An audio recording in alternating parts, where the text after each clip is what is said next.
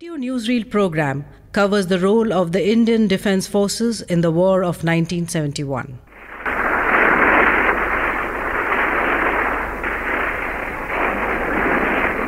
In the air action, while the Indian Air Force pounded Pakistani air bases from Dhaka in the east to Karachi in the west, Pakistan's air attacks, foiled by the Indian air power, spilled over to indiscriminate raids on civil targets.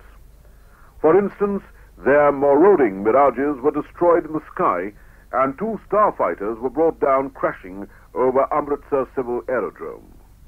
The artillery fire downing the two starfighters.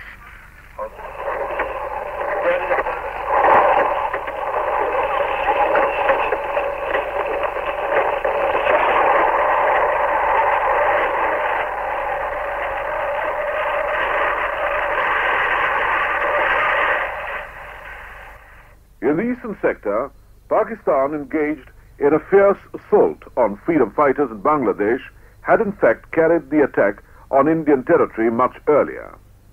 Pakistani Air Force raided Indian territory using powerful rockets and heavy bombs.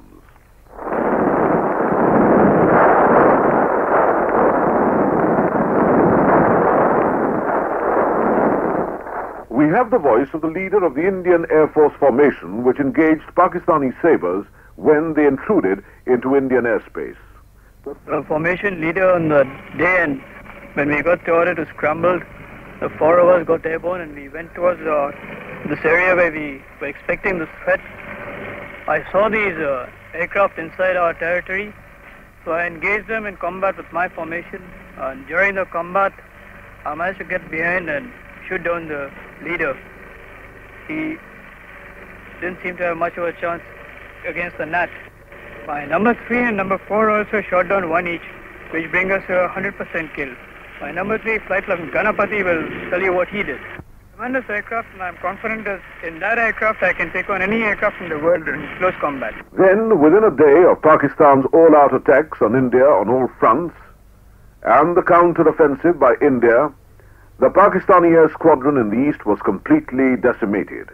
The Indian Air Force began to rule the sky over Bangladesh. It was a coordinated, brilliantly planned, and neatly executed action by our armed forces. Aircraft carrier Vikrant held sway in the Bay of Bengal. American-built Pakistani submarine Ghazi went to the bottom of the sea. Another submarine liquidated. Destroyers Khyber and Shah Jahan destroyed through daring naval operations. On the west, enemy ports pounded from Gwadar to Karachi. The role of the Navy as the operations were continuing, Naval Chief Admiral Nanda.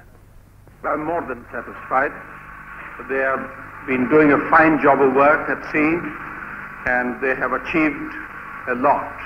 They have fulfilled all the tasks that were assigned to them during the first phase of their operations at sea.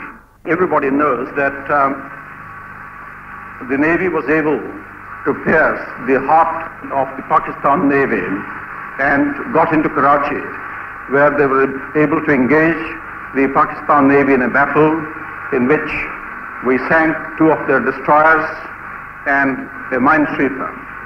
And we probably damaged another minesweeper without getting any of our ships hurt at all. They also carried out a second raid on Karachi in which they uh, attacked three of their ships and also set the oil installations at Karachi ablaze. I should also say that our eastern fleet has also been doing a very good job of work. They have managed to sink the Pakistan submarine Ghazi, which was the pride of the Pakistan Navy. They've also been keeping up tremendous pressure on the, all these Pakistani ports